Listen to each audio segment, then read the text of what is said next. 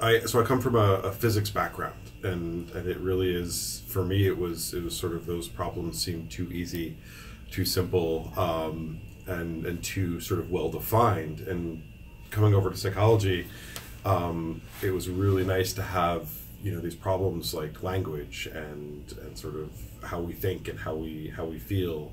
Um, that were just so rich and so deep and such such interesting problems and such the ones that we sort of interact with on a daily, daily basis. I think a lot of people sort of take it for granted.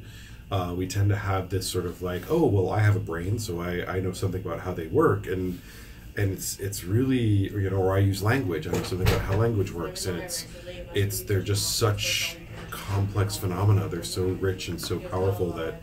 Um, I think a lot of people take it for granted how, how difficult it is to study them uh, and study them properly.